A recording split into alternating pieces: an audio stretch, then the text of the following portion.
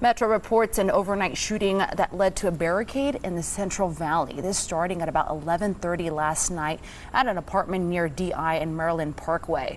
Metro says they found two people shot. They're in the hospital now. That's when another person there refused to leave the apartment and the barricade started. We're told it ended peacefully. Police detaining two people in this incident. It's unclear when the barricade ended. This is an ongoing investigation.